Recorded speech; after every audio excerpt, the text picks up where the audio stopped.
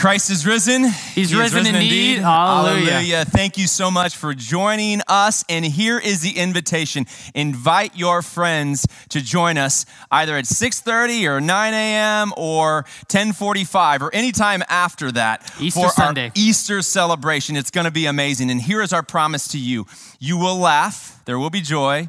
You're going to learn a little bit, hopefully a lot of it. A lot. And you're also going to leave knowing how much you're loved by God, by Jesus, the risen one. We have a challenge for you. Would you share this on Facebook, on Instagram, on YouTube, on text, on email, any eh, verbally? Call a friend. right. Write a no. Don't write a letter. That might take too long. Let people know and share that these services are coming up. And even after they've come up, you can still share them. And we challenge you. Uh, we had 100 uh, people share this uh, for the Good Friday and Maundy, Thursday. Can we do 200? 200 shares on social to get the word out. Get the word out. Christ is risen. He's, risen, risen indeed. indeed. Hallelujah. Hallelujah. Get it out.